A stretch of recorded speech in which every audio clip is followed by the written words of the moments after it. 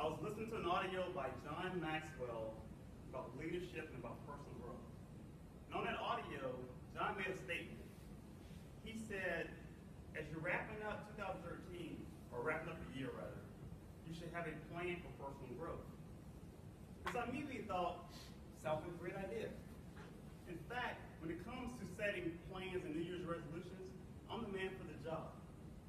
However, unfortunately, every single year that I set New Year's resolutions and plans, I fell flat. I fell short every single year because I never had a good system for keeping track of my New Year resolutions and achieving my goals. So immediately after I finished the audio, I went on to Google and I started researching goal setting app apps. So I said, hey, there's got to be an app to help make me more productive, to help me better reach my goals. So after reviewing several applications for Android, iOS, etc., I ran across one called the Habit Factor. And I have to say, two things immediately stood out about the Habit Factor app. One was there was a book behind it. So the whole philosophy for the Habit Factor app is contained in a 254-page book. And I said, hey, if they believe enough in their product to actually have a book about philosophy, it's probably a pretty good app. So I started reading the app. Then also, I went on their website and did some more research and I found out they actually had a four-week habit factor challenge to help you be more accountable with your goals, get your, goals a little bit faster. I said, hey, sign me up for that. So today I want share with you a little bit about my experience with the habit factor. And I'm going to use an acronym. You guys that have heard me speak before know I love acronyms. So I'm going to use the acronym HABIT to explain my speech. The H stands for the Habit Factor app. It's an amazing application. I actually use the one that's on my Kindle. Very simple to use application. I like the fact that it makes me way more productive in under five minutes a day of using that. Habits are essential, and the habit factor itself, the way it's set up, it shows you how to properly align your goals with the habits that are required to achieve those goals. And personally, one of the mistakes that I made early on was I would always set a goal, and I would immediately look for the actions to do. But those actions, I never really created habits for those actions. I would just do random actions trying to achieve my goals, and eventually I would run out of steam. Where in the book, he talks about the proper alignment of your goals and your habits. So next, the A part of our acronym stands for accountability.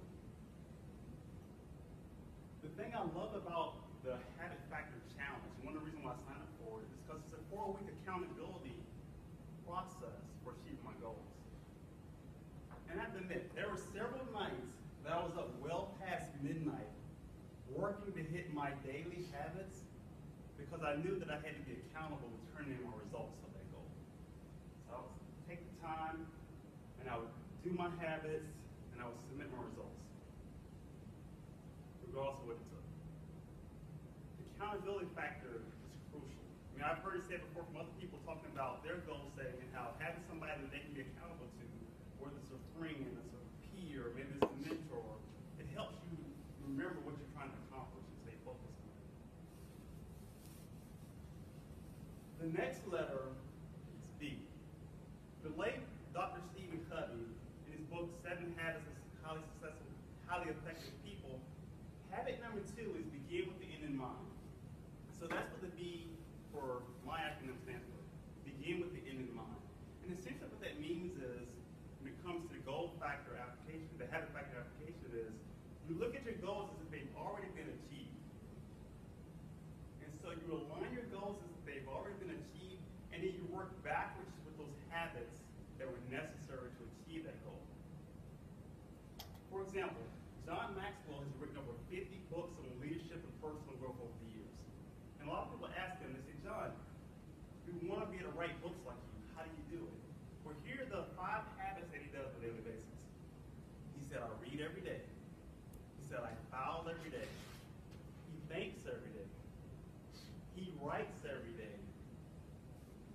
and he takes his time to learn or ask questions every single day.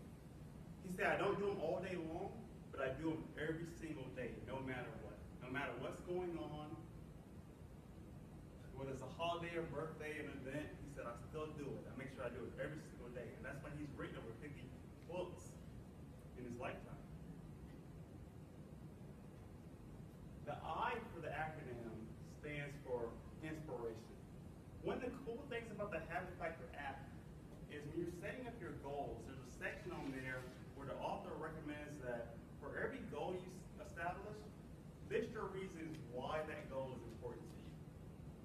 addition, every habit that you set up in the application also lists the reasons why.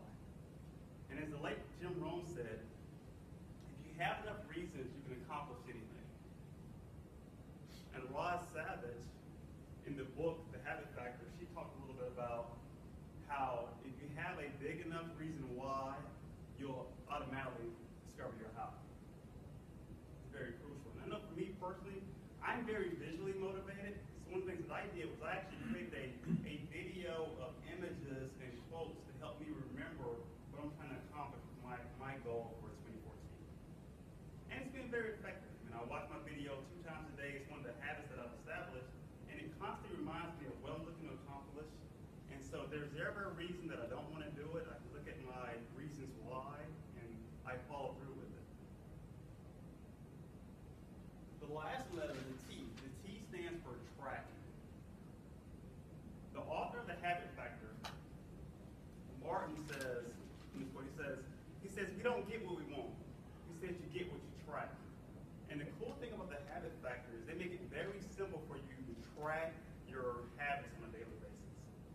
In fact, I'm able to open up my Kindle and track my habits much faster than it takes for me to open up Excel on my PC. It's easy to do. And the cool thing about the habits, tracking your habits on the Habit Tracker app, is that there's no space for excuses. There's no option at all. Either you did it or you didn't do it. As simple as that. And I love that about it because it is, takes out all the guesswork. I know in the past I've tried to use Excel and I would write notes, well, this is why I didn't do this today. This happened at work, and so I got busy doing this. No, the Habit Factor doesn't care about all that. Just track your results and then you can look at your reports later on. Powerful application, very simple to use. So let's imagine now that it's December 31st, 2014. All year long, you've been aggressively tracking your habits, establish your habits towards achieving your goals. And you can look back over all the goals that you've established. When people ask you, hey, how are you able to accomplish that? How are you able to run that marathon? How are you able to write that book? How are you able to win that